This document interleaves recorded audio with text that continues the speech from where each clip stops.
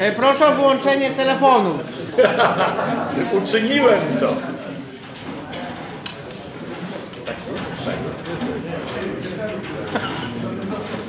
A tu władza nie sięga. Witam Państwa.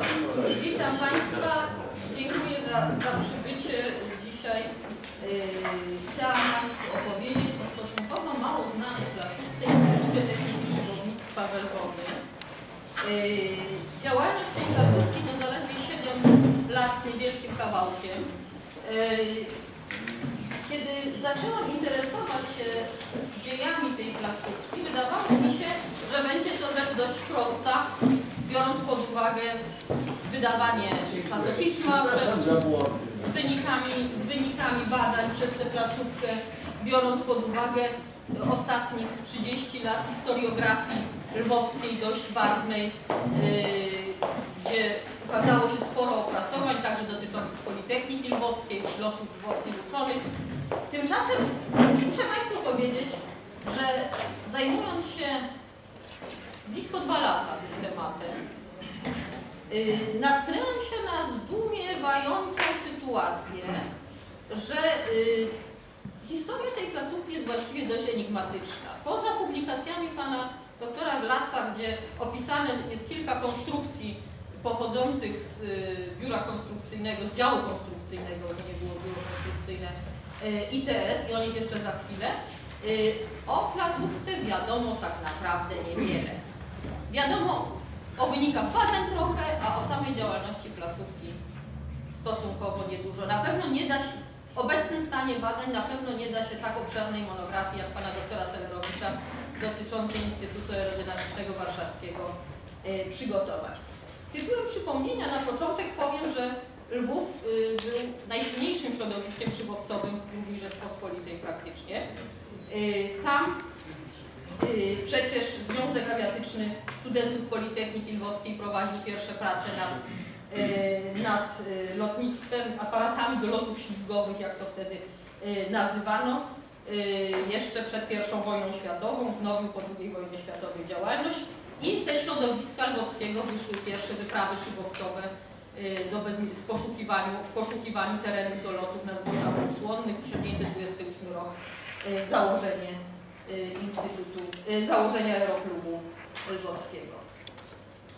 Y, Żywiołowy rozwój szybownictwa w Polsce, y, co objawiało się między innymi konstruowaniem kolejnych typów szybowców y, zarówno przez ludzi mających przygotowanie konstruktorskie do tego, absolwentów czy też studentów studiów mechanicznych, jak i przez całkowitych amatorów, pokazywały, że potrzebna jest jakaś silna grupa, która skoordynowałaby te y, działania w sensie naukowym, w sensie konstruktorskim, nie tylko w sensie organizacyjnym, tak jak to czyniły aerokluby czy Liga Obrony Powietrznej y, i Przeciwgazowej. Mm, Z inicjatywy Lwowskiego Wojewódzkiego Komitetu Ligi Obrony Powietrznej Przeciwgazowej i za zgodą Ministerstwa Komunikacji powstał w Lwowie Instytut Techniki Szybownictwa. Y, Oficjalna data założenia to 15 marca 1932 roku. Y, Instytut został zatwierdzony przez Ministerstwo Komunikacji jako placówka naukowa, organizacyjnie i personalnie związany był z Politechniką y, Lwowską, natomiast działalność jego finansować miał przede wszystkim Zarząd Główny Ligi Obrony Powietrznej i Przeciwgazowej. Taka placówka zajmująca się naukowym opracowaniem zagadnień charakterystycznych dla lotu bezsilnikowego y, powstała wcześniej tylko w Niemczech. Y, DFS, czyli, czyli y, Instytut Niemiecki Badań nad Szybownictwem, nad, nad lotem żaglowym dosłownie tłumacząc, powstał pod koniec lat 20. w Rom na Wasserkuppe w Niemczech. To była pierwsza placówka ITS Lwowski był drugą taką placówką na świecie. I w 1932 roku, kiedy, y, kiedy zakładano placówkę, opublikowano y, pewnego rodzaju projekt działalności y, omawiający główne zadania, główne zadania Instytutu. Chodziło też o wyraźne rozgraniczenie, że Instytut nie ma się zajmować organizowaniem sportu szybowcowego, że chodzi o wyłącznie te badawcze, naukowe zadania. Był tam pewien drobny konflikt na u początków e, właśnie dotyczący tego, dotyczący kompetencji, czy Komitet Szybowcowy Aeroklubu e, Rzeczpospolitej e, i Instytut Techniki Szybownictwa nie wejdą sobie w drogę. Na szczęście to zostało wyraźnie, wyraźnie rozgraniczone. I między innymi chodziło o tworzenie konstrukcji szybowców i badania ich wytrzymałościowe. Przy czym, tu jeszcze za chwileczkę powiem, oczywiście nie chodziło też o konkurowanie z biurami konstrukcyjnymi. Yy, Gromadzenie podstaw naukowych dla pracujących w technice szybowcowej, tworzenie konstrukcji sprzętu pomocniczego, orzekanie o przydatności konstrukcji do danych celów przez przeprowadzanie pomiarów w locie i prób wytrzymałościowych dla każdego nowego szybowca, orzekanie o zdatności nowych projektów celem zapobieżenia niecelowym wysiłkom i wydatkom, wypracowanie przepisów technicznych na podstawie doświadczeń własnych i obcych, Udoskonalenie metodyki szkolenia pilotów wespół z Aeroklubem Lwowskim prowadzącym Szkołę Pilotów Szybowcowych Bezmiechowej, instruowanie prowadzących budowę szybowców w kołach szybowcowych, wykazywanie yy, warunków lotu bez, wskazywanie warunków lotu bez silnika na podstawie badań meteorologicznych oraz wskazywanie nowych możliwości lotu, zajmowanie się wszelkimi zagadnieniami technicznymi mającymi związek z szybownictwem i lotnictwem słabosilnikowym. Tak został program Instytutu Techniki yy, Szybownictwa y, zaplanowany. Oczywiście podjęcie takiego zestawu zadań, to jest proszę Państwa 10 punktów, a każdy z tych punktów zawiera y, dość szeroki zakres, nie było możliwe od razu, zwłaszcza, że to finansowanie, o którym była mowa przed chwilą, tak od razu też nie napłynęło. Y, Tak naprawdę działalność rzeczowa Instytutu rozpoczęła się w maju 1932 roku, a jak napisano w sprawozdaniu z pierwszego roku działalności Instytutu na prośbę Zarządu Głównego LOPP, z którego zasiłków Instytut jest utrzymywany, aby wydatki zakreślać jak najskromniej, kierownictwo nie mogło nadawać Instytutowi szerszego, aczkolwiek pożądanego i upragnionego rozmachu. Kierownictwo y, nowo powołanego Instytutu objął profesor Politechniki Lwowskiej inżynier Stanisław Łukasiewicz. Y, Na początek Instytut składał się z działów aerodynamicznego, którym kierował doktor inżynier Zygmunt Fuchs, konstrukcyjnego, którym kierował inżynier Wacław Czerwiński, znany już wtedy z konstrukcji szybowcowych, y, meteorologicznego, którego pierwszym kierownikiem został formalnie profesor dr Henryk Arctowski i działu szkolnego, o którym właściwie wiadomo najmniej poza pierwszym rokiem y, działalności. W sprawach związanych z pomiarami w locie i metodyką szkolenia z Instytutem Techniki Szybownictwa współpracował początkowo inżynier Szczepan Grzeszczyk, który jednak w tym czasie już opuszczał Lwów i przenosił się do Warszawy, więc raczej występował w charakterze konsultanta tylko przy niektórych y, projektach. Y, Tak w ogóle, proszę Panów, proszę Państwa, y, Instytut przez cały okres swojej działalności był placówką w zasadzie wirtualną.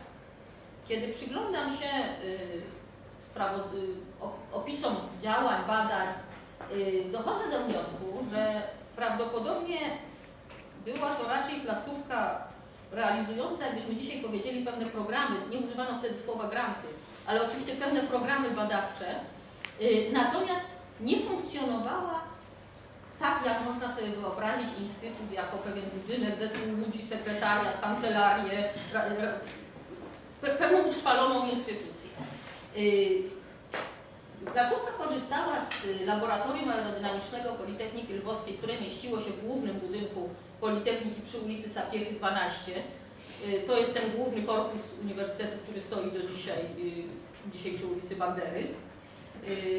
Przy ulicy Sapiechy 55, kilka budynków dalej i po drugiej stronie ulicy kamienica z 1910 roku w całości zajęta przez rozmaite agendy Politechniki Lwowskiej. Tam jakieś niewielkie pomieszczenia biurowe i gabinetowe yy, Instytut Techniki Szybowcowej, Szybownictwa zajmował.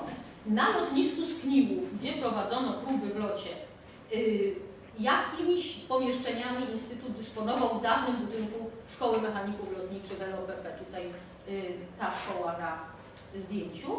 Y, No i oczywiście badania w locie prowadzono w Szkole Szybowcowej w Bezmiechowej.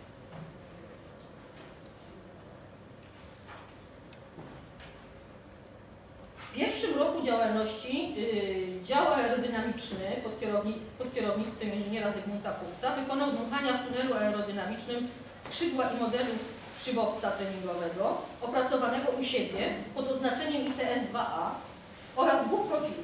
Opracowano i testowano metodę badania rozkładu ciśnień na elementach konstrukcji lotniczych.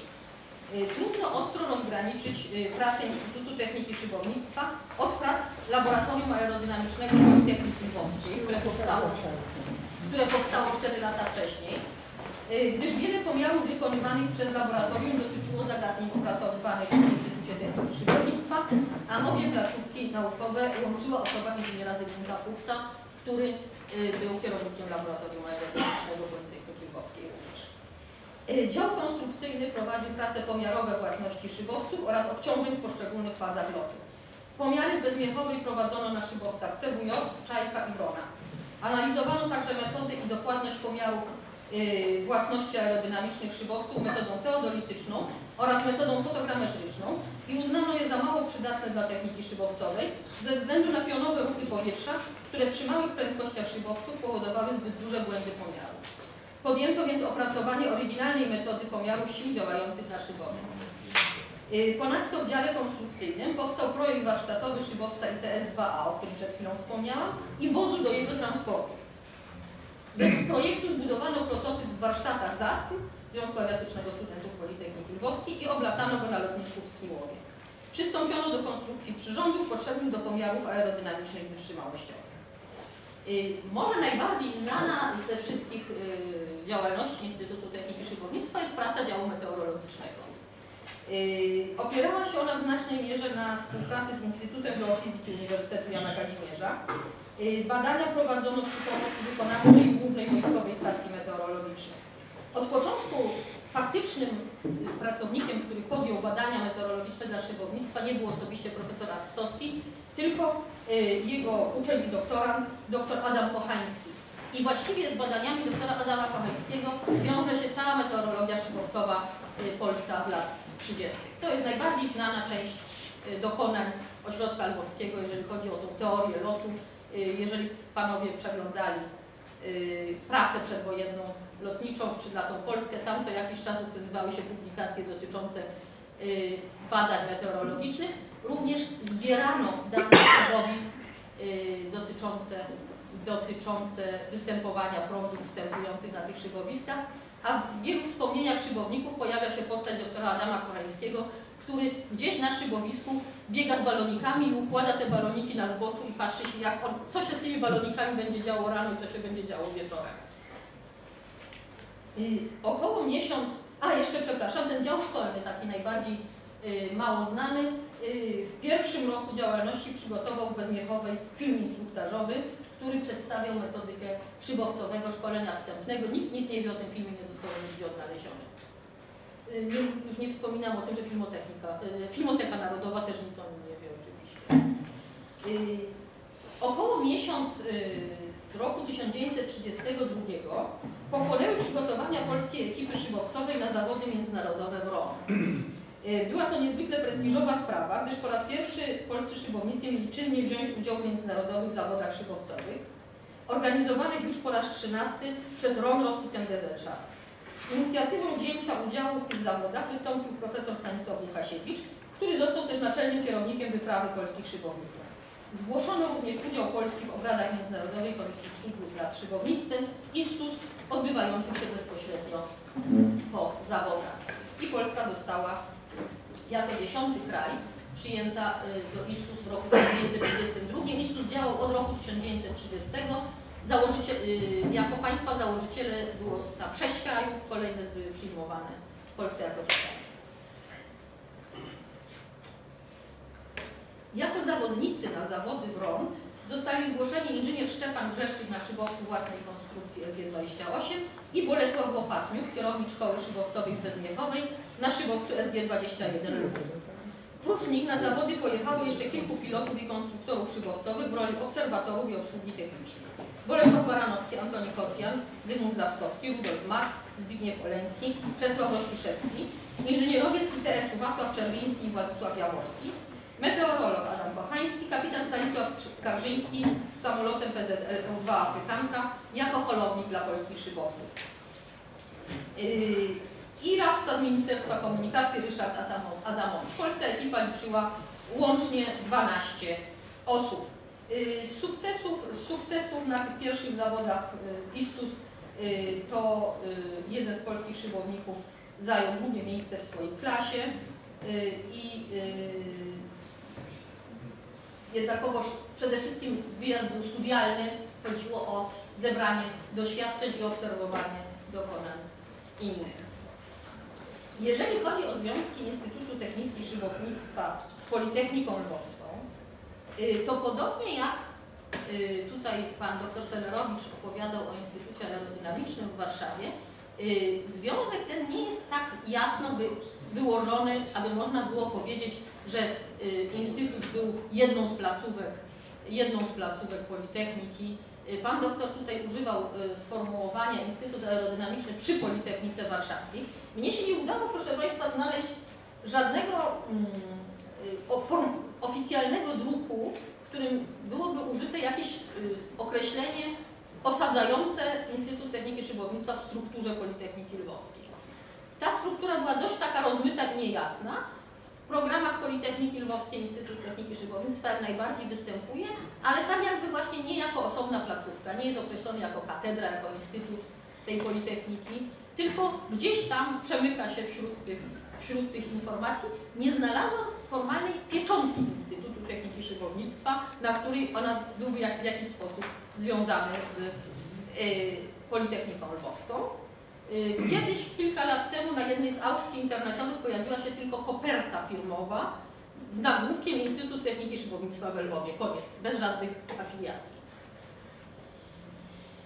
Y, jeżeli chodzi o y, działalność naukowo-badawczą ITS-u, to opierała się ona przede wszystkim właśnie na subwencjach Zarządu Głównego LOPP. Teraz jak znajdę, o właśnie, mam tutaj.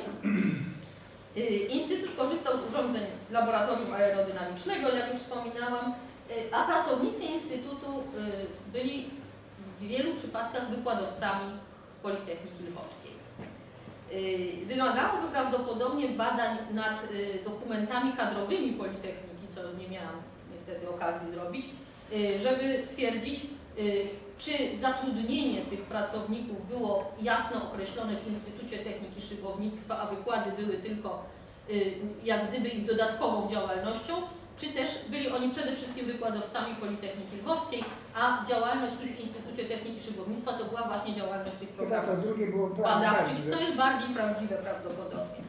Tutaj trzeba wymienić inżyniera Wiesława Stępniewskiego, który był docentury, asystentem docentury płatowców, y, docentury budowy płatowców na Politechnice Lwowskiej i zarazem w pewnym okresie kierownikiem technicznym Instytutu Techniki Szybownictwa. Prowadził ćwiczenia z mechaniki lotu i budowy płatowców ale tylko w roku akademickim 35 na 36. Y, docenturę na Politechnice z mechaniki lotu i budowy płatowców miał inżynier Michał Bleicher, pilot i konstruktor szybowcowy, ale tylko dzięki subwencji LOB, a więc nie był stałym pracownikiem Politechniki. W roku akademickim 38-39 także dzięki subsydiom LOB zatrudniony był jako prowadzący ćwiczenia laboratoryjne z silników lotniczych Stanisław Piekarski i docent mechaniki lotu i budowy płatowców Franciszek Kotowski. Także wykład z meteorologii lotniczej był prowadzony dzięki subsydiom. Co dwa lata prowadził ten wykład dr Adam Kochański. Yy, subsydia lotu utrzymywały także wykład doktora inżyniera Zygmunta Fuchsa z aerodynamiki i hydromechaniki. Tutaj, proszę Państwa, yy, wymieniłam źródła finansowania. Yy, to subsydium główne później było zmniejszane do 1600 zł miesięcznie na działalność Instytutu Techniki Szybownictwa w Lwowie.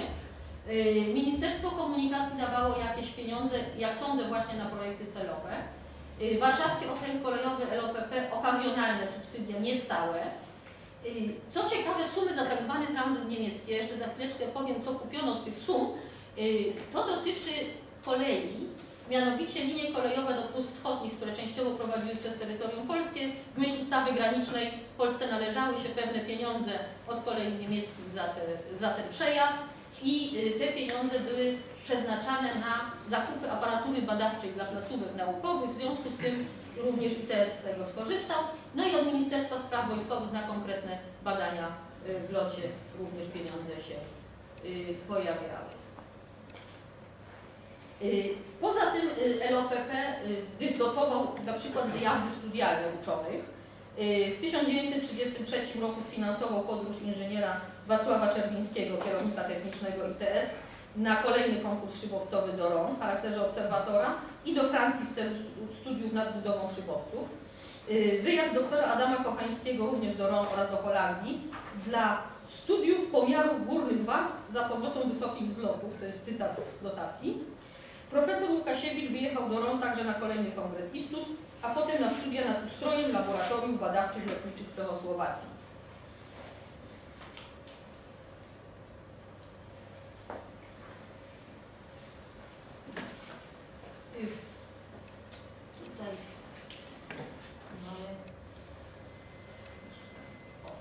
Jeżeli chodzi o publikacje Instytutu Techniki Szybownictwa, to mamy lwowskie czasopismo lotnicze. Ja o nim mówiłam dwa lata temu, na, y, op- opisując w ogóle zagadnienia prasy lotniczej.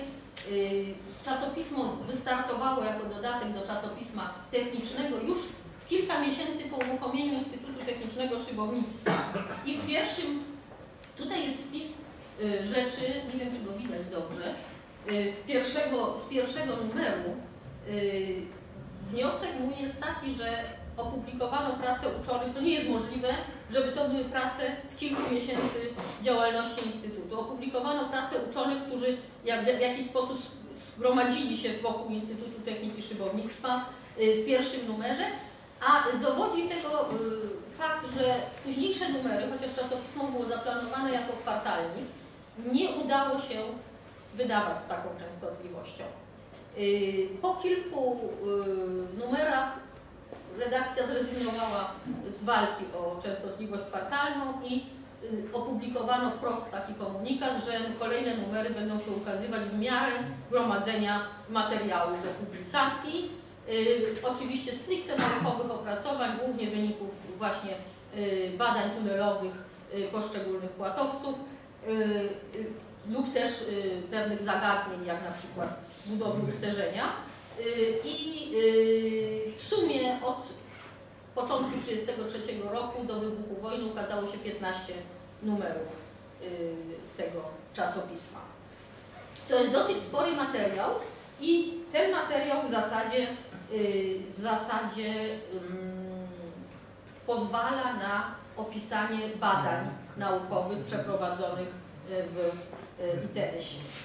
Y, Najbardziej płodnym autorem, który publikował na łamach czasopisma był właśnie doktor inżynier y, Zygmunt Fuchs, łączący rolę kierownika laboratorium aerodynamicznego i, y, i kierownika działu aerodynamicznego w Instytucie Techniki Szybownictwa. Samo to pokazuje, że tutaj te struktury nie były ostre i wyraźnie, i wyraźnie rozdzielone. Bardziej popularne prace pracownicy ITS publikowali też na łamach Skrzydlatej Polski. Przez dwa lata ukazywał się y, dział y, wiadomości technicznej ITS na łamach Skrzydlatej. Y, Tam prym wodził, wodził inżynier Stępniewski, który, który najwięcej publikował, ale pisywali, pisywali także inni. I oprócz tego jeszcze w życiu technicznym, najpierw w życiu technickim, potem w życiu technicznym, czyli czasopiśmie technicznym Politechniki Lwowskiej, ukazywały się pewne artykuły. Y, Tu zastrzegę od razu, że nie były to już artykuły raczej stricte dotyczące technicznej działalności ITS-u, co raczej o szybownictwie i o zagadnieniach szybownictwa, rozwoju szybownictwa w ogóle.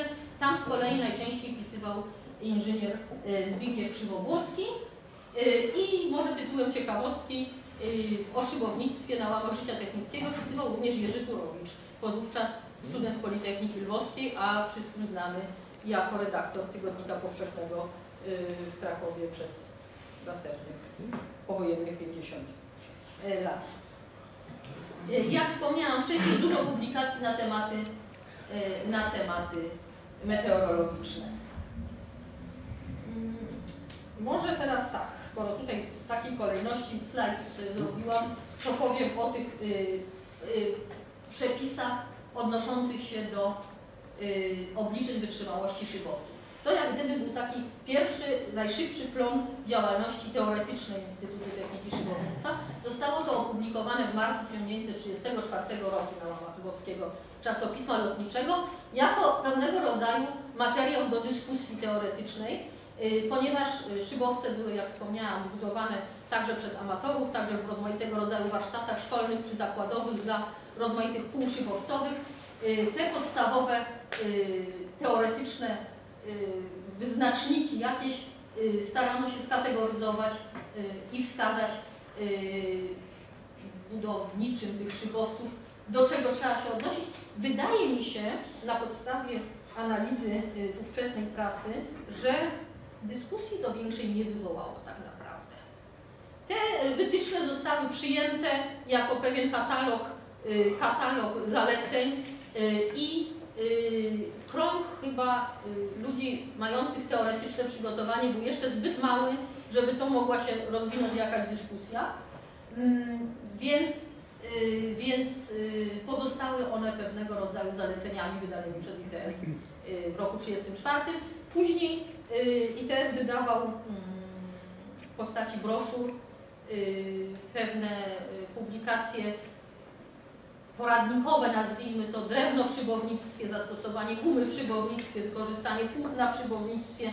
Takie broszury, które stanowiły pomoc dla, y, dla y, warsztatów szybowcowych y, oraz tablice przedstawiające konstrukcję i instalowanie przyrządów szybowcowych, czy też podstawowe jakieś rozwiązania konstrukcyjne, węzły konstrukcyjne. Takie tablice, które można było nawet na ścianie w y, warsztacie y, umieścić jako, jako pomoc naukową.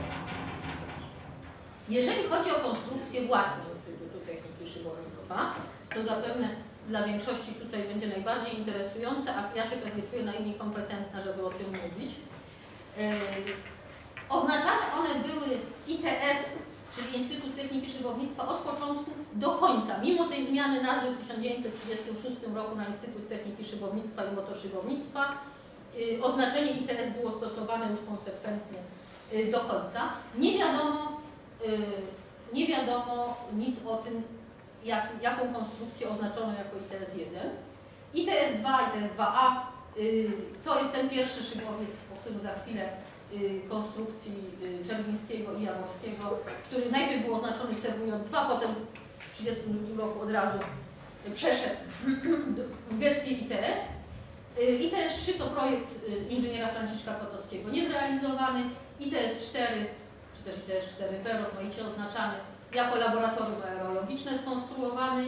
ITS-5 niezrealizowany projekt szybowca wyczynowego inżyniera Adama Nowotnego, dwupłatowego szybowca wyczynowego, proszę Państwa, taka ciekawostka.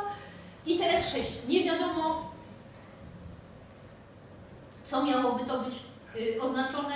ITS-7 samolot słabosilnikowy Drost, ITS-8 to szybowiec w kilku wersjach, ITS Grubel, ITS Jaskółka to są y, również studia dopiero y, samolotów słabosilnikowych. Y, TS-134 Promyk to szybowiec, który można uznać, że w kręgu ITS powstał. Y, I tajemnicza dość wzmianka o y, prawdopodobnie raczej rozważaniach teoretycznych nad szybowcem desantowym ITS Szarańcza. To jest raczej, e, sądząc, sądząc z wzmianki, jaką mi się udało znaleźć, to jest raczej tylko, tylko y, w pamięci jednego z inżynierów zachowane być może rozmowy w kręgu technicznym nad takim y, projektem. Y, Wspomniany ITS-2, szybowiec treningowy, konstruktorzy Wa- Wacław Rzewiński i Władysław Jaworski.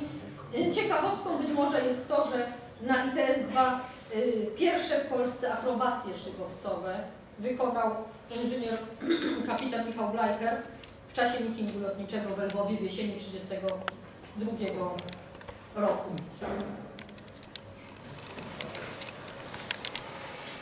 ITS-4, szybowiec do lotów pomiarowych, dwumiejscowy, bardzo obszerny, y, w którym miał się mieścić y, obserwator, oprócz pilota obserwator i jakiś zestaw przyrządów. Tam nawet był przewidziany stolik dla tego obserwatora, żeby notatki prowadzić, więc y, taka dość, dość spora konstrukcja. Zainicjował budowę tej konstrukcji inżynier Adam Nowotny, po jego śmierci dokończył Franciszek Kotowski. Prototyp i zarazem jedyny egzemplarz został latami 30 lipca 1935 roku. Yy, Właściwie z ciekawostek warto jeszcze tutaj odnotować, że szybowiec miał ogromną rozpiętość skrzydełek na tamte czasy 20 metrów. To jest, to jest i dzisiaj dużo, a, a wtedy gigant. Yy, ITS-7 oznaczenie samolot słabosilnikowy Drost, yy, znany tylko z modelu tunelowego wystawionego w 1938 roku na Krajowej Wystawie Lotniczej w Lwowie. Są gdzieś zdjęcia yy, tego modelu tunelowego. Nie miałam niestety możliwości yy, znalezienia tutaj takich, które mogłabym z czystym sumieniem zamieścić. W 1939 roku w warsztatach rozpoczęto budowę trzech prototypów różniących się wykorzystanymi silnikami. Nie wiadomo nic bliższego o ich losach. No i ten ITS-8, proszę Państwa, najciekawsza może sprawa. Projekt wstępny został opracowany przez inżyniera e, Stępniewskiego.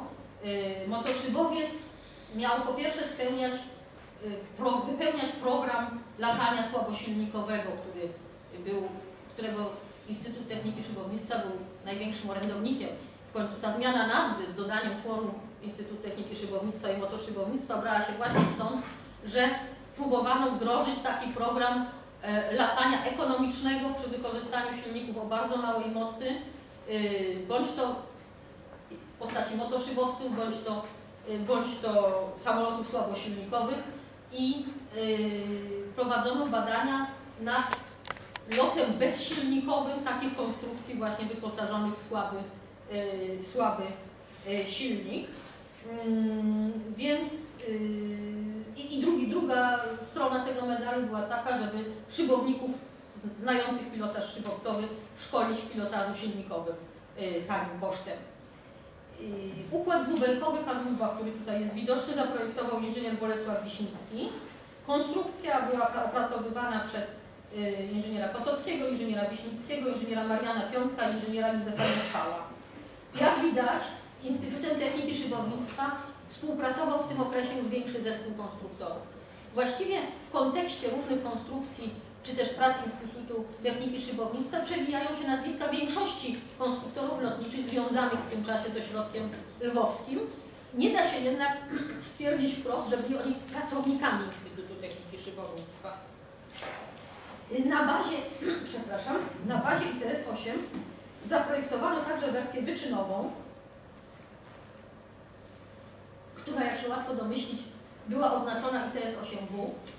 Yy, Wersję do pomiarów meteorologicznych ITS-8M, która nie została ukończona.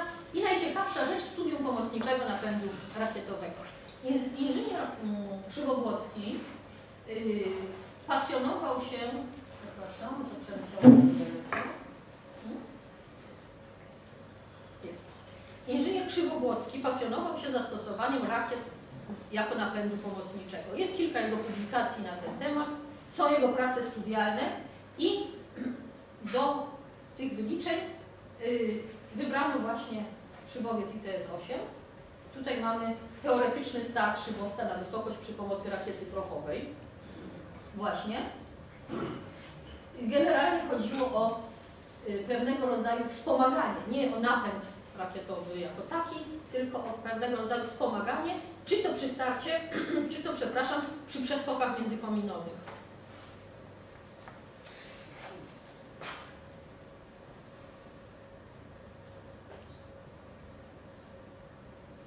Tutaj y, mamy model płatowca Jaskółka, również zaprojektowanego w ITS-ie, właśnie samolotu słabosilnikowego. To jest ten model tunelowy, który został zademonstrowany na Krajowej Wystawie Lotniczej w 1938 roku w Lwowie. Ale to zdjęcie z tunelu, bo widać takie zaokrąglenie tunelu. Być, mo być może, tak. To jest tunelowe zdjęcie. Być może. Tak, tak, to jest W tunelowy. tunelu czasami prowadzono badania lustrzane, dano dwa modele, żeby zlikwidować e, jakiś tam wpływ. I, i były dwa modele używane równocześnie do badań tego samego.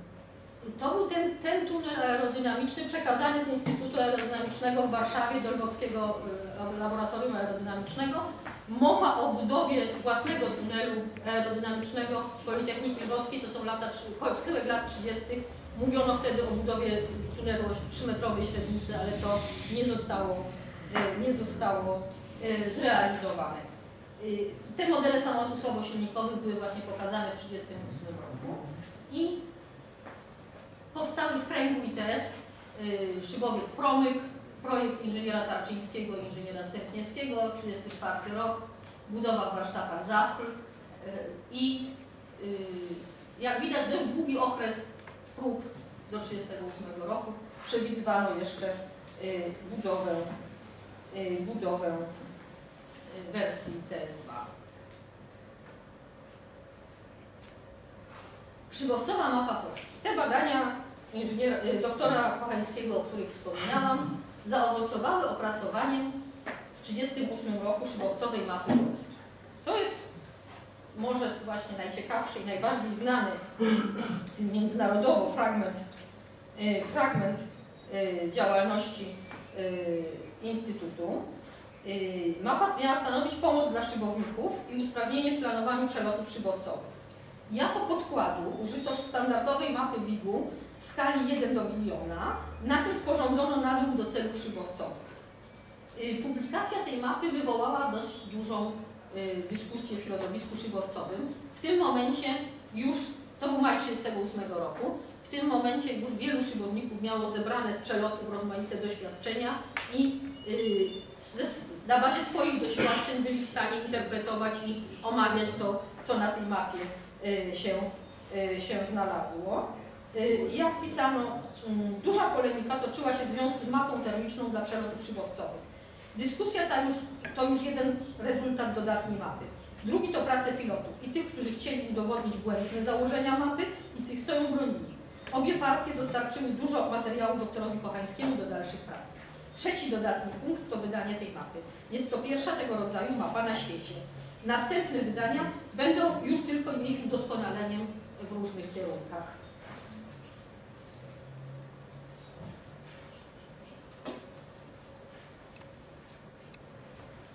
Jeszcze jednym elementem działalności ITS, o którym warto wspomnieć, to jest taka akcja ratunkowa z 1937 roku ratowania lwowskich warsztatów lotniczych, warsztatów lotniczych y, Związku Awiatycznego Studentów Politechniki Lwowskiej.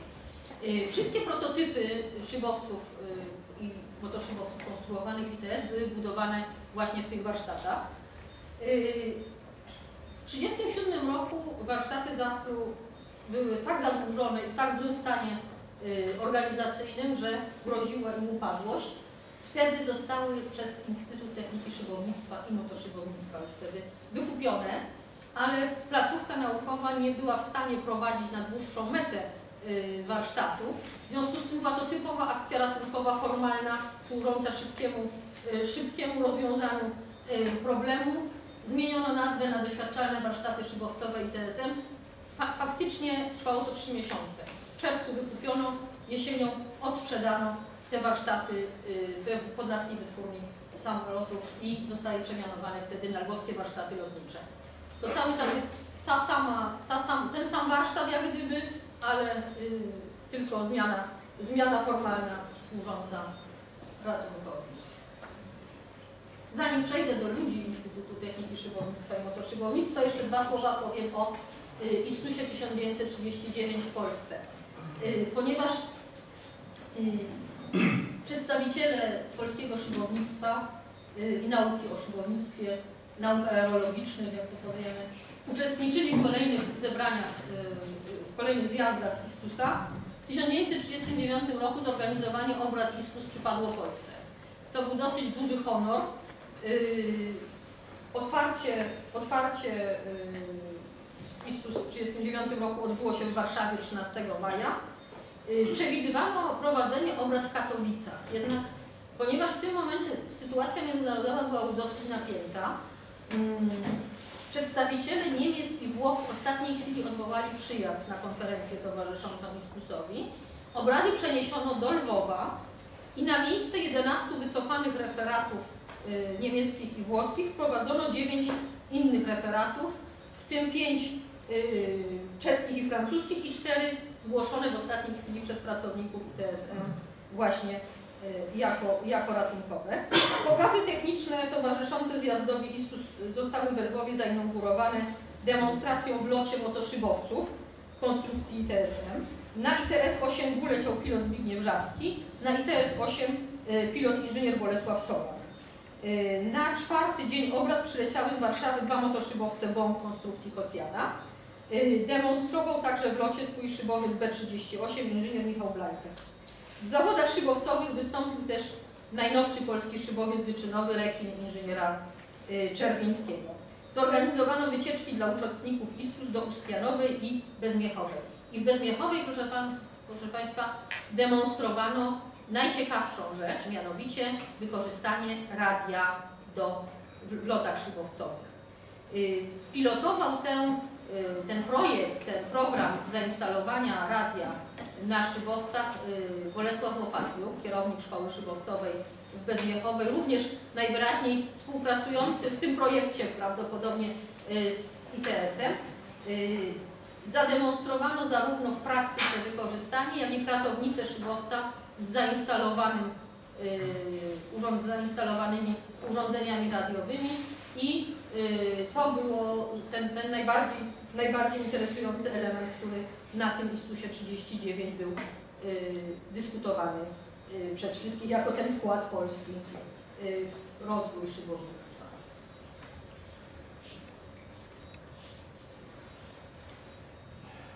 Jeżeli chodzi o ludzi Instytutu Techniki Szybownictwa i Motoszybownictwa, to na początek może profesor Stanisław Łukasiewicz, kierownik ITS-u, ITSM-u, yy, maszynoznawca przede wszystkim. Właściwie yy, to jest okres, yy, okres kierowania ITSM, to jest okres jego najbliższych związków z lotnictwem w ogóle. Po 1945 roku w Gdańsku organizował Politechnikę Gdańską i jest pierwszym rektorem, organizatorem Politechniki Gdańskiej. A że nie był tylko y, teoretyczną figurą, to mamy dowód na zdjęciu ze skrzydlatej Polski, że profesor Łukasiewicz uczył się latać na szybowcu.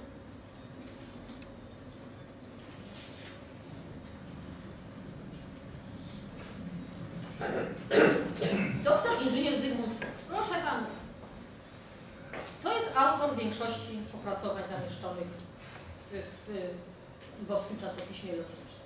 To jest właściwie, można powiedzieć, guru badań aerodynamicznych we Lwowie w tym czasie. Doprawdy niewielu jest ludzi wśród polskich uczonych, o których tak mało wiadomo.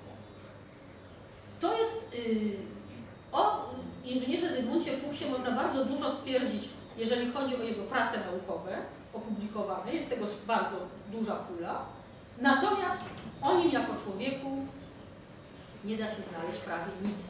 Nawet bardzo trudno jest znaleźć y, dane dotyczące jego śmierci. Są dwie wersje co najmniej. Y, według jednej został zamordowany latem 1941 roku w Lwowie przez hitlerowców, y, jak gdyby w kontynuacji tej akcji przeciwko lwowskim uczonym. Y, tak jak jeszcze po tym dramacie na wzgórzach wuleckich jeszcze kolejnych aresztowano i, i mordowano. Według innych danych został zamordowany w obozie janowskim w Lwowie wraz z żoną, co jednak przesuwałoby datę jego śmierci co najmniej na jesień 1941 roku. Nic bliższego, nic bliższego o szczegółach tego nie udało mi się na tę chwilę, na tę chwilę ustalić, a y, postać warta uwagi i bardzo, za, bardzo zapomniana. Bardzo zapomniana, właściwie y, niewiele się o nim mówi. Inżyniera Wacława Czerwińskiego nie muszę tutaj w tym gronie szczególnie jakoś przedstawiać. Y, Właściwie jego działalność to głównie na w początkach Instytutu Techniki Szybownictwa, później już działał, y, działał w innych ośrodkach, ale no, z całą pewnością położył podwaliny pod, y, pod y, konstrukcję ITS-u. Doktor Adam Kochański, meteorolog. Bardzo znana postać y, w szybownictwie lat 30. Jak wspominałam, y, w czasie wojny jako meteorolog w polskich siłach powietrznych na zachodzie, po wojnie osiadł w Stanach Zjednoczonych, zajmował się m.in. badaniami hemisfery, pracował w biurze meteorologicznym amerykańskim.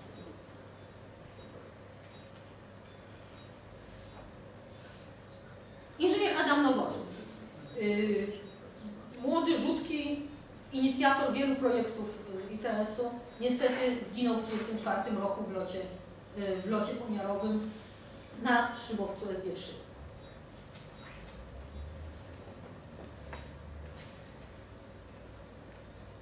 Inżynier Franciszek Kotowski. Y, pracował w ITS-ie i jako kierownik włoskich warsztatów lotniczych, nie będąc jeszcze tak naprawdę inżynierem, był absolwentem Politechniki Lwowskiej, ale pracę inżynierską obronił dopiero w 1939 roku. To jest typowy przypadek dla inżynierów lotniczych tamtych czasów. Oni byli tak zajęci swoją pasją, że dokańczali formalności związane ze studiami, na ogół dopiero zmuszeni przez, przez y, przełożonych y, jakimiś organizacyjnymi y, sprawami. Po wojnie był w Krakowie wykładowcą Wydziałów Politechnicznych Akademii Górniczo-Hutniczej, potem Politechniki Krakowskiej. Y, Pracował też w Instytucie Szybownictwa, czyli SZD w Bielsku i był konstruktorem muchy, a więc bardzo znanej, znanego szybowca. Zdjęcie jest y, powojenne z archiwów y, Politechniki Krakowskiej. Inżynier Wiesław Stępniewski również właściwie dla formalności go tutaj umieściłam, ponieważ wszyscy wiedzą o kim mowa. Bardzo duży wkład w y, badania ITS-u od 1935 roku.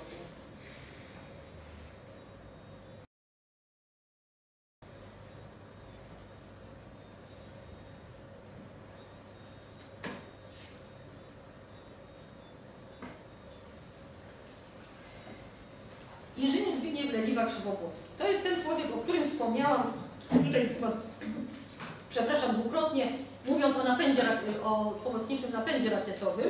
Yy, Pasjonował się tym.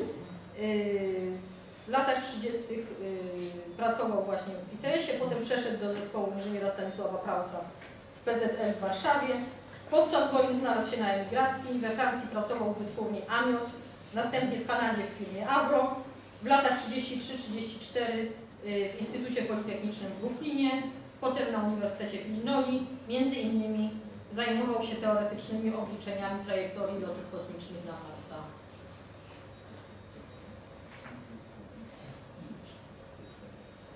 Kolejne znane postaci, inżynier Bolesław Solak,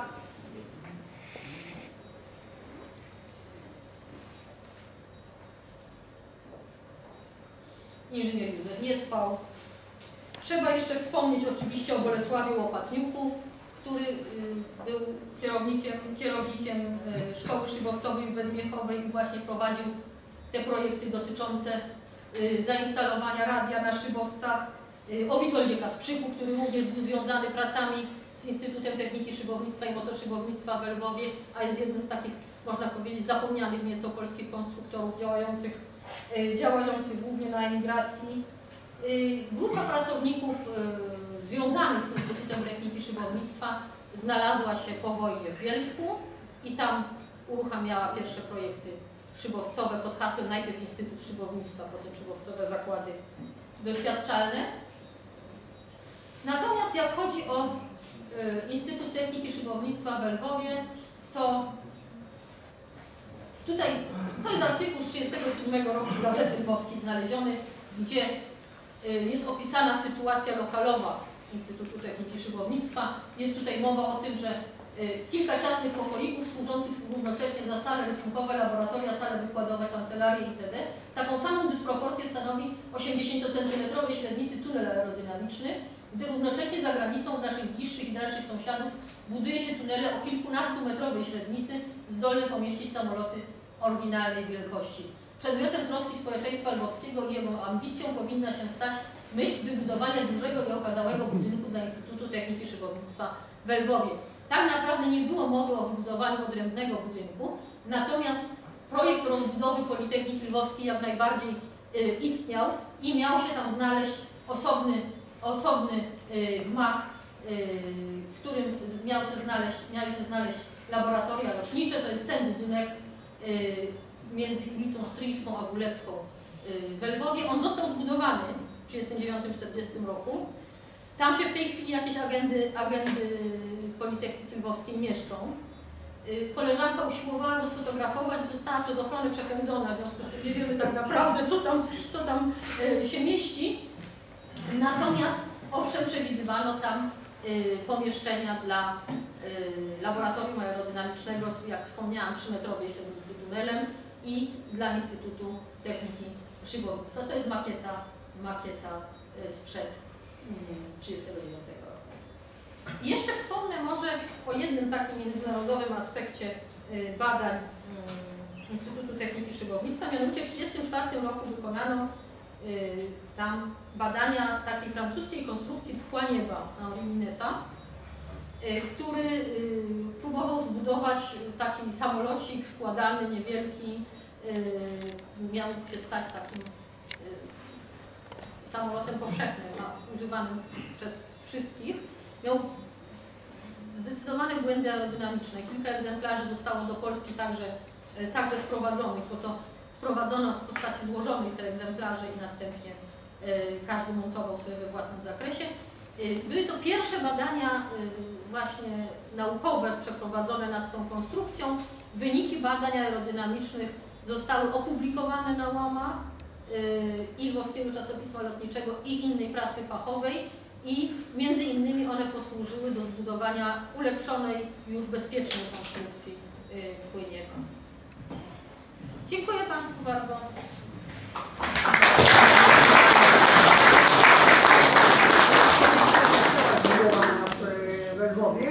E, z tym, że e, przy starcie skapotowała, została uszkodzona i nie została wy- wypró- wypróbowana. E, Potem badania aerodynamiczne w Instytutu w Warszawie wykazały, że e, nie należy na tym latać, powiedzmy. E, Natomiast warto jeszcze podkreślić, że ta mapa Kochańskiego między innymi pokazywała tak zwane żabie kraje tereny, które były podmokłe, e, bagniste i w związku z tym w czasie przelotów należało unikać tych terenów. I to była rzecz dosyć cenna dla szybowników, właśnie informacja, że które e, tereny, prawdopodobnie te plamy na tej mapie, to są właśnie żabie kraje.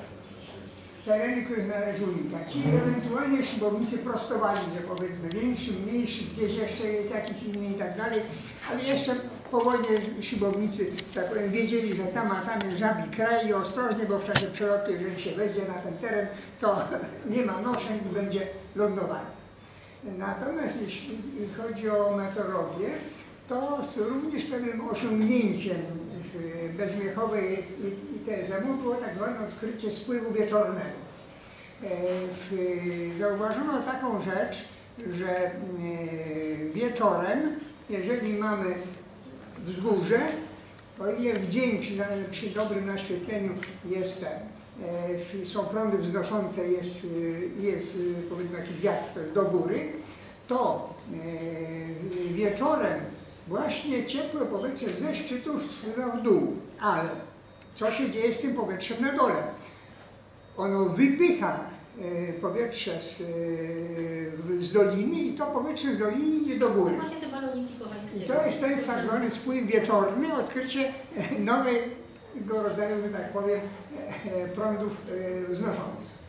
Natomiast jeśli chodzi o badania, powiedzmy, w, e, e, zastosowania radia w szybownictwie, które zaczęto w Skiniłowie, a potem w Bezmiechowej, e, kontynuowano, no między innymi istnieje takie zdjęcie, jak e, Jadwiga Piłsudska e, stoi przy salamandrze ze słuchawkami właśnie, ponieważ to był chyba 37 rok, kiedy zaczęto robić te e, badania właśnie, e, jak może instruktor utrzymywać kontakt z uczniem za pomocą radia.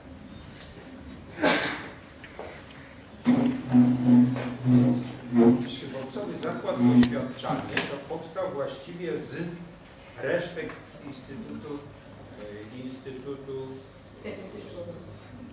z Lwowa. No ludzie tego mogą na tego I, tutaj Mucha, prawda, no i, i tak samo wieloletni dyrektor inżynier Nowakowski też stamtąd się wywodził, tylko tutaj y, pani nie wspomniała o tym, albo go tam nie ma śladów jakichś.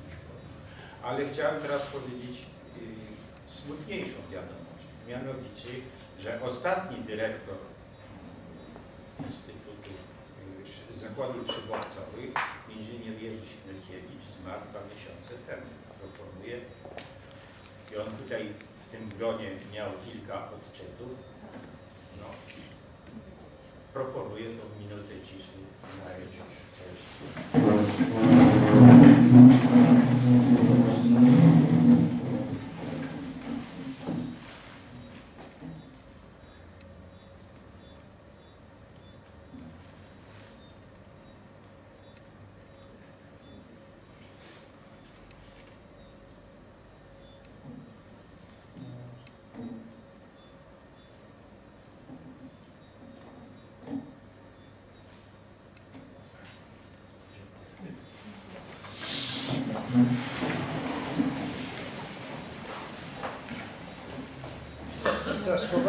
dyskusja jest teraz tutaj. Tak, bardzo proszę. Proszę Państwa, e, Pani wspomniała o jednym z pracowników wśród ludzi, o inżynierze Wiesławie Zenonie Stępniewskim. E, No powiedziała, dość szybko Pani przyleciała. Jest bardzo znaną postacią, więc Y, Ale znaczy tak się złożyło, że kilkanaście ostatnich lat przed jego śmiercią zetknąłem się z nim i ma, miałem okazję do wielu, wielu godzin rozmów. Nawet zaprzyjaźniliśmy się do tego stopnia, że chociaż od biedy mógł być moim ojcem, to zaproponował, abyśmy mówili sobie wyrty. Otóż y, może nie będę mówił o osiągnięciach jego żywotnictwa, ale chciałbym kilka, że tak powiem, epizodów z jego y, życia Państwu tu przedstawić, po prostu na zasadzie, nazwijmy to gawędy. Otóż, y, kiedy troszeczkę zelżała sytuacja polityczna na świecie, to na terenie Wydziału Mechanicznego Energetyki Lotnictwa Politechniki Warszawskiej była to powstała taka tendencja, żeby zapraszać dawnych konstruktorów, no między innymi inżyniera Jakimiuka, zaprosiliśmy z inicjatywy profesora Fiszona, także powstał projekt, żeby zaprosić profesora Stępińskiego no, do Polski. Wszystko się rozwijało bardzo gładko, ale jakieś dwa tygodnie przed planowanym przyjazdem wizyta została odwołana. No nie wiadomo było dlaczego, ale tak się złożyło, że po paru latach znalazłem się na forum amerykańskiego towarzystwa śmigłowcowego, gdzie inżynier, no dalej go tytułowaliśmy profesorem, bo był między innymi profesorem y, na Uniwersytecie w Filadelfii, chociaż formalnie był przedwojennym inżynierem, a dziś byśmy powiedzieli magistrem inżynierem, to jednak wypuścił kilku doktorów, których też, miałem okazję poznać. Przy okazji kontaktu z nim poznałem też inżyniera Tarczyńskiego. Otóż pytam się, mówię, panie profesorze, no co się stało? A on mówi, po prostu miałem wszystko. Wizę, bilet, miałem już, no, wybierałem się, ale na wszelki wypadek zapytałem się takiego opiekuna, byśmy powiedzieli od bezpieki, co on sądzi o moim wyjeździe. A on mi powiedział tak, Stany Zjednoczone to nie jest obóz koncentracyjny. Oczywiście każdy może swobodnie wyjechać, ale ponieważ Pan współpracuje z Boeingiem, Pan współpracuje z NASA, to musi się Pan liczyć z tym, że po Pana powrocie Pana security classification will be reconsidered. No więc wstrzymałem się. Ale potem się sytuacja zmieniła. Mógł przyjechać do Polski i najwygodniej byłoby wówczas, dla, mnie przynajmniej było najwygodniej, żeby go zakwaterować w budynku aerodynamiki na pierwszym piętrze, no w mieszkaniu, które po wojnie zostało przerobione dla rektora Bukowskiego. No i wieczorem go przyjechałem z lotniska, zjedliśmy kolację. Rano poszedłem, żeby go zaprosić na śniadanie. No i pytam się, jak się panu spało. A on mówi, no ja zawsze marzyłem, żeby do Polski przyjechać. To się spełniło. Ale nigdy nie przypuszczałem, że będę nocował w mojej dawnej kreślarni. Dlatego, że a, inżynier Stępniewski był absolwentem Wydziału Mechanicznego Politechniki Warszawskiej. Państwa, jeszcze takich kilka ciekawostek. Otóż mianowicie on wspaniale znał trzy języki. W ogóle to była czarująca osoba. No, przed wojną w ogóle występował y, także no, w teatrze studenckim i tak dalej. Miał do, właśnie do końca życia miał wspaniałą pamięć. Intelektualnie był bardzo dobry. Na konferencjach różnych międzynarodowych spotykał się między innymi z delegacjami rosyjskojęzycznymi. Otóż on im imponował. On lepiej znał Puszkina niż oni. Dalej, jako inną ciekawostkę mogę powiedzieć, mówi się o tłumaczeniach różnych książek, że one są, prawda, tak jak kobiety, albo wierne, albo piękne, prawda? Otóż y, on, muszę powiedzieć, y, spełnił obie te rzeczy. Pod koniec y, życia już otworzył taką prywatną firmę doradczą, między innymi zajmował się tłumaczeniami. I ja No, udało mi się z trzech egzemplarzy, które miałem jeszcze zachować jeden, jeden celowo komuś dałem, ktoś inny pożyczył i zapomniałem kto. Mianowicie on przetłumaczył taką książkę, to chcę powiedzieć, jak się powinno tłumaczyć po prostu. Otóż przetłumaczył książkę y, rosyjską Yy, No, te, teoria niesłyszego winta, czyli po angielsku on to przetłumaczył Theory of the Lifting Air, Air Screw, no taką śmigłowcową podstawową. Zresztą był autorem wielu książek z aerodynamiki yy, po angielsku. Otóż jak wygląda to tłumaczenie? Oryginał to było 300 kilkadziesiąt stron i 106 pozycji literatury było na końcu. W jego tłumaczeniu, mówiąc o tym, że się lepiej czyta, no bo prawda, e, łacińskie litery i tak dalej, on napisał wstęp kilkunastostronnicowy, w którym odniósł się merytorycznie do tego, co się stało w tej dziedzinie śmigłowcowej w czasie dwóch lat, jakie upłynęły między wydaniem książki a jego tłumaczeniem. I dodał jeszcze do tego chyba 12 pozycji literatury. W związku z tym jego tłumaczenie jest no, więcej warte niż oryginał tej książki. Proszę Państwa, no, co jeszcze mogę powiedzieć? Y, Rozmawialiśmy trochę o Politechnice Lwowskiej y, też, bo jego życiorysą to więcej Państwo znają y, pe, pe, pewnie. No tu- to nie ma co, to, to jest bardzo, bardzo krótka sprawa. W każdym razie między innymi on powiedział, czego no powiedzmy nie wiedzieliśmy, ale starsze pokolenie, które kończyło Wydział Lotniczy, to wie, że jednym z y, profesorów powojennych, który między innymi, y, no nie tu zdjęcia właśnie nie będzie, ale gdyby Pani potrzebowała zdjęcie, to ja Pani zdjęcie mogę, znaczy, tak, także tu nie ma problemu. Otóż jednym z profesorów powojennym, a później nawet prorektorem, to był profesor Bronisław Bochenek. Otóż okazuje się, że on się wywodził właśnie z Politechniki Lwowskiej.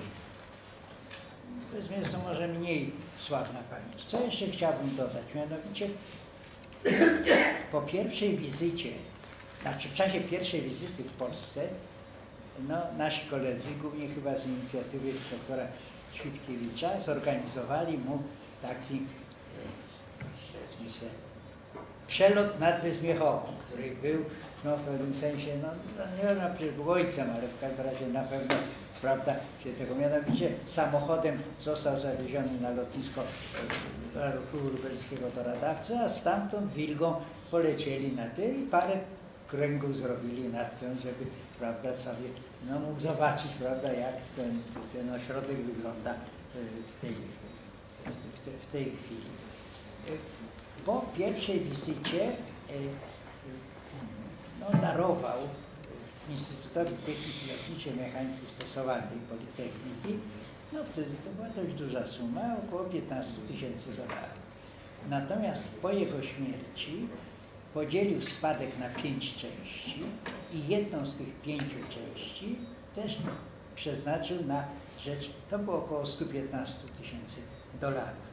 No, uwzględniając jego kontakty, nie tylko jako wybitnego absolwenta, ale prawda, także później kontakty, jedno z audytorium, z audytorium Gmachu Aerodynamiki, dawna kreślarnia Sąta się nazywa, jest właśnie imienia profesora Wiesława Zetrona Stępiewskiego.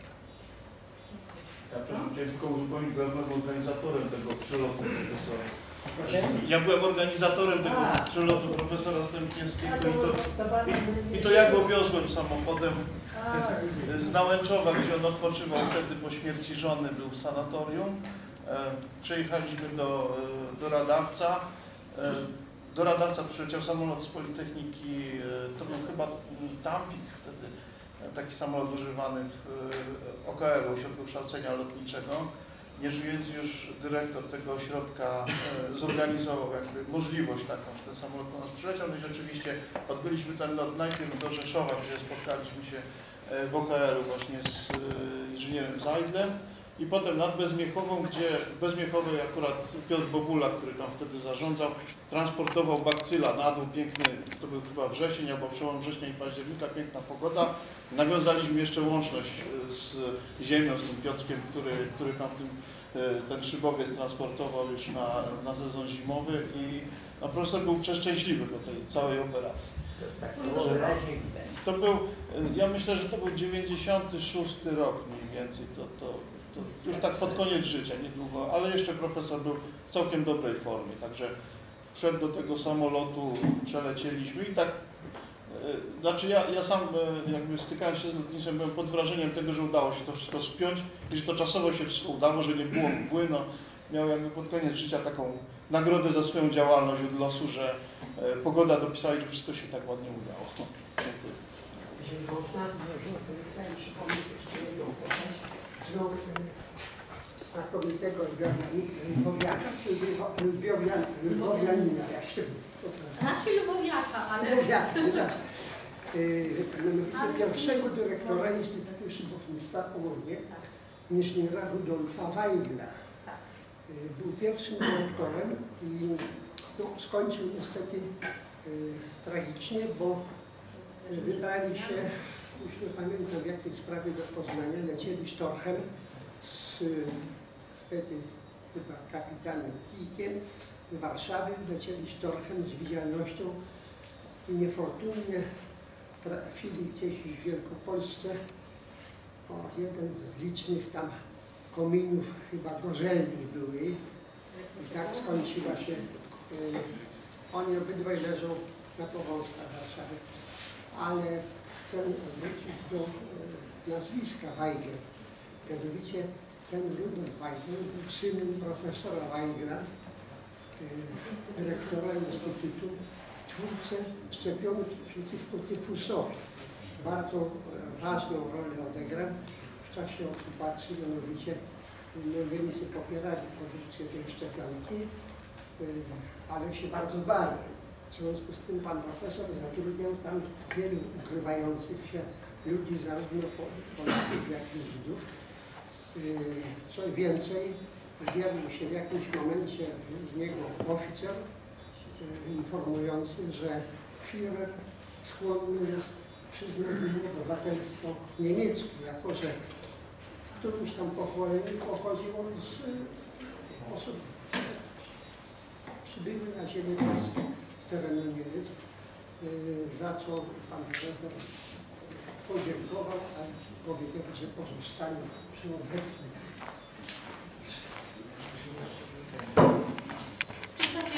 Czy można jeszcze dwa słowa dorzucić? Chciałbym uzupełnić wypowiedź docenta Łucjanka. Profesor Stępiński był niezwykle płodnym autorem, ale ostatnią publikacją jego była publikacja wydana w kraju, o której warto by wspomnieć. Publikacja ta wydana przez Instytut Lotnictwa nosi tytuł Ciche wiropłaty. Bardzo ciekawe opracowanie. Wydaje mi się, że jako uzupełnienie do tej informacji o twórczości profesora warto podkreślić, że ostatnia publikacja była publikacją krajową. Warto może podkreślić jeszcze, że on właściwie był chyba twórcą takiego zmiennopłatu typu hybrydy, dwusilnikowy samolot, prawda, z, yy, z, ze śmigłowcem w układzie poprzecznym, tylko typu tilt-wing, czyli z pochylanymi skrzydłami, a nie tak jak teraz Osprey z pochylanymi wirnikami, prawda? Ja nawet mam film z tego ob, ob, ob, oblotu I, i to bardzo ciekawa historia zresztą była.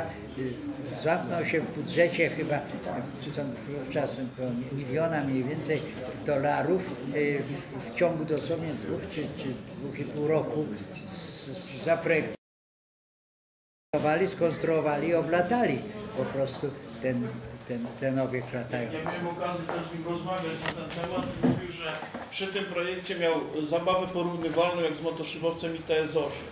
To była, tak, tak to w skali ocenił swoich dokonań. I oprócz tego jeszcze jedna informacja, która może e, gdzieś była podkreślona, że przed wojną był e, taki konkurs na szybowiec klasy olimpijskiej i profesor Stępniewski był e, jurorem też w tym konkursie i napisał taką publikację, która była w przeglądzie lotniczym w zasadzie w odcinkach zamieszczona. Ja mam, ja mam oryginał e, epizody, fragmenty wspomnień e, członka jury konkursowego, szybowca e, olimpijskiego bodajże, nie pamiętam dokładnie tytułu.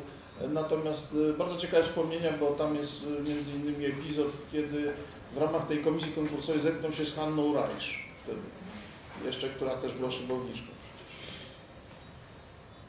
żeby zwolennikiem, żeby włączyć rolnictwo do olimpijskich, do olimpiady w ogóle. Tak. Zamykamy dyskusję. Jeżeli nie ma więcej głosów, to proszę Pan chciał. Ja chciałem dodać, że e,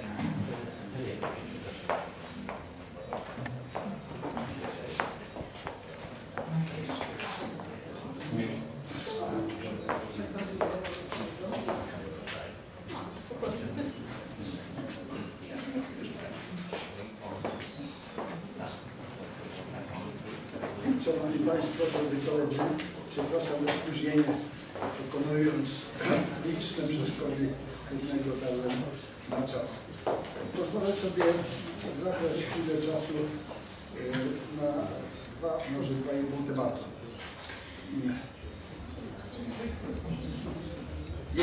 Zacznę od tematu, który jest na, e, nie na rok, nie na pięć, ale na sto lat a mianowicie pomnik chwała lotnikom polskim. Nie wiem, na ile jest Państwu znana, y, znany ten temat. Y, Rzecz polega na tym, że wreszcie sprawa nabrała trybu wykonawczego. Przypomnę krótko historię. Jestem y, członkiem Komitetu Budowy, podobnie jak nasz kolega prezes Madler. Komitetu Budowy tego pomnika. Historia w dwóch słowach.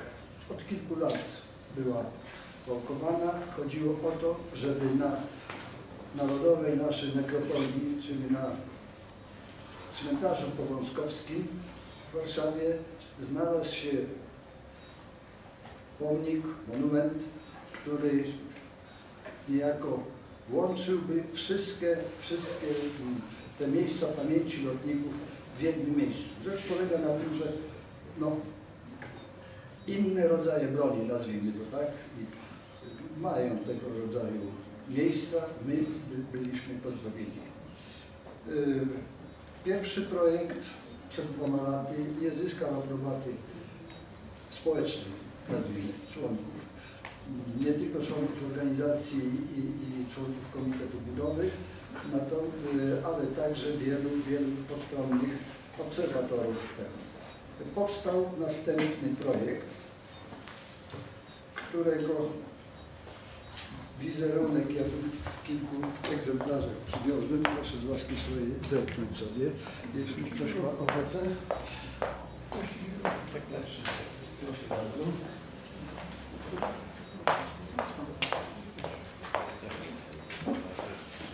prosty, ale dosyć wymowny, a mianowicie nawiązujący, nawiązujący do dziecinnej strzałki robionej z papieru. Y, Rzecz y, duża, licząca 7 bodajże metrów wysokości, no i z akcentami, skromnymi akcentami charakteryzującymi lotnictwo. Był duży problem. Był duży problem, czy ma to być jak początkowo myślano, w zamyśle było mm, pomnik poświęcony lotnictwu wojskowemu, czy całemu lotnictwu polskiemu. Zwyciężył ten drugi wariant i natychmiast się, e, zrodziło się pytanie, jakie symbole mają reprezentować to lotnictwo na pomniku. No wiadomo, Wojsko to ma szachownicę i ma gapę, chociaż stała się symbolem całego lotnictwa polskiego. Z, w logach znacznych aeroklubów wielu ta szachowica występuje. Natomiast był problem, jakie symbole mają e, charakteryzować lotnictwo pozostałe, lotnictwo cywilne. Wybraliśmy znane i uznane od lat historyczne i znane w świecie. Jeśli chodzi o aerokluby, lotnictwo sportowe, literka A z tymi skrzydełkami w, kole nie budziła wątpliwości. Jeśli chodzi o mm, lotnictwo ogólnie zawodowe, lotnictwo, to znaczy lotu naszego, naszego mm, przewoźnika narodowego. Y, Był jeszcze znak, Julek, Y, Problemem y, natomiast była reprezentacja przemysłu lotniczego, bo początkowo nie brano tego pod uwagę. Zaproponowałem, aby to był powszechnie znany na świecie znaczek PZL-a. I te cztery, i te cztery symbole są, będą, są proponowane i będą wyryte na tym pomniku.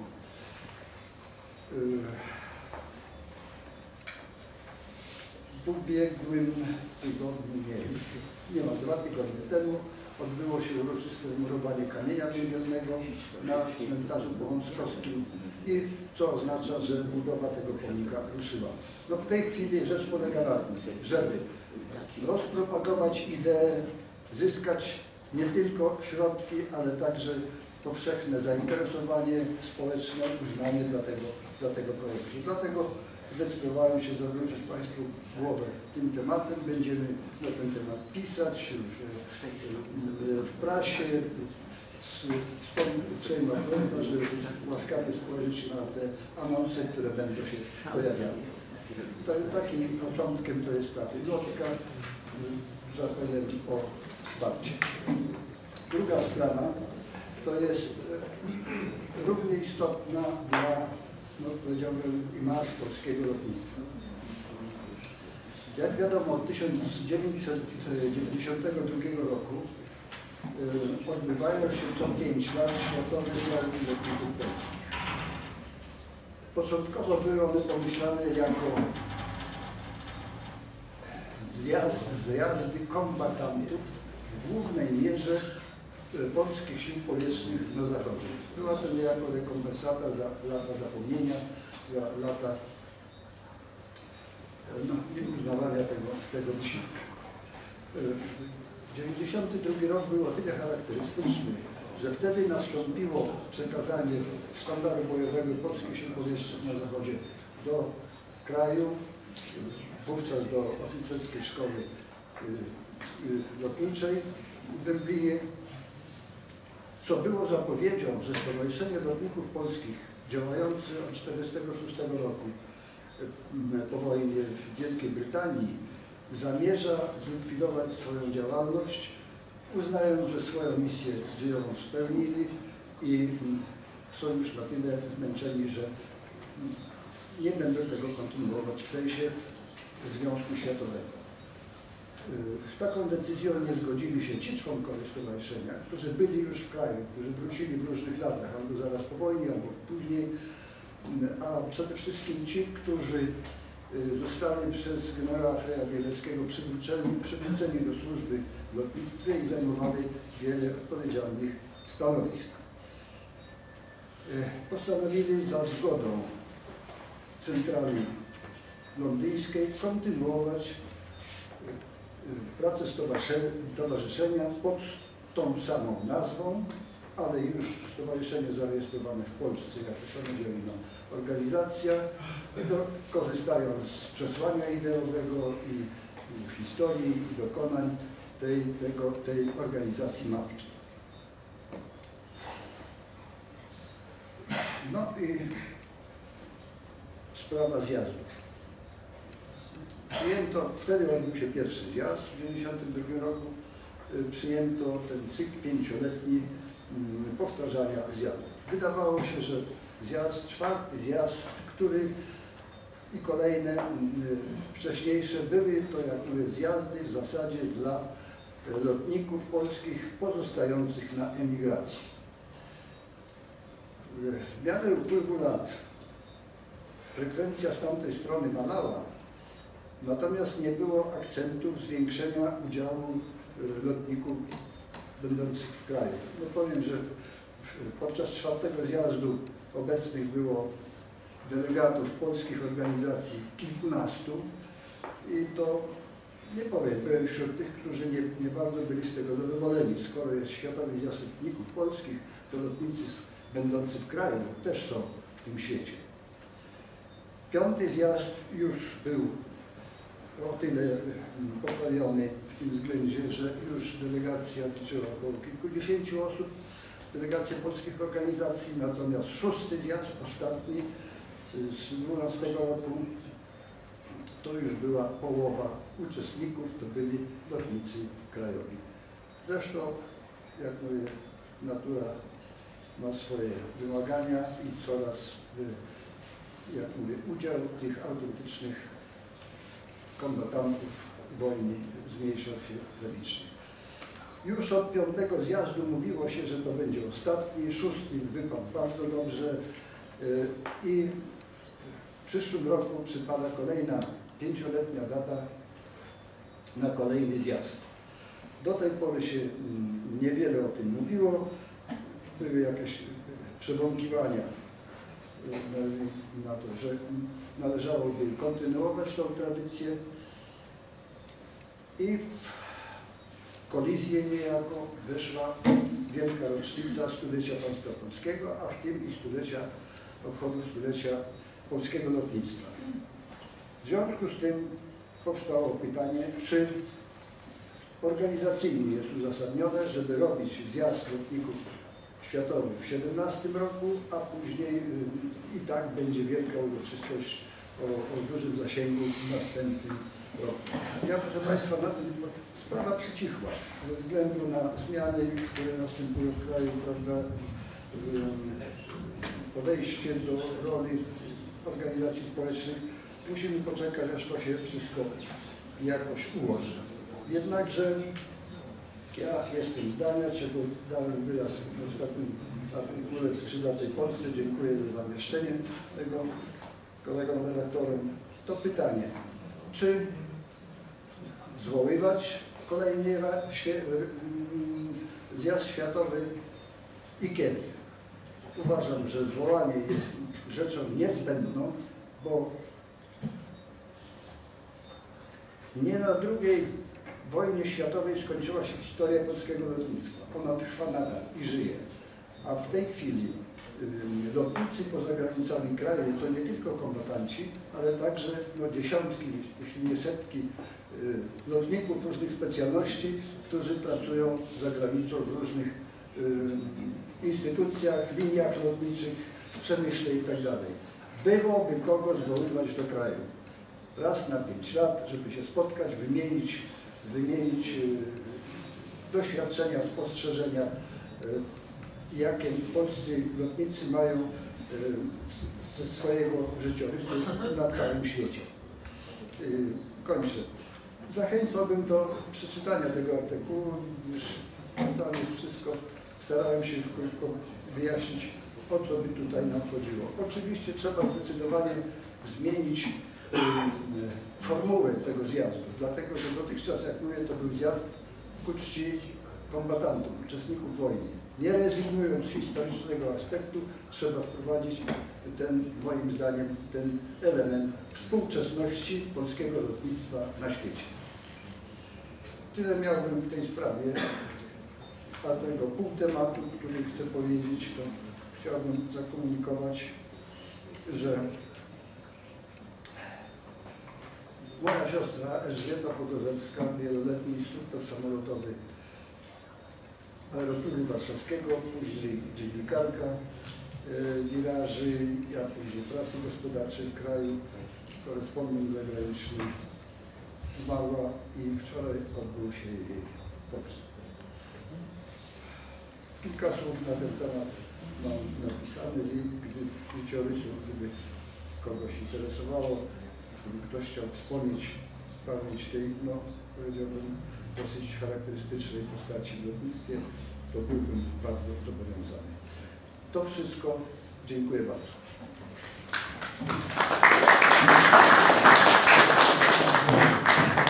Czy pan jeszcze coś?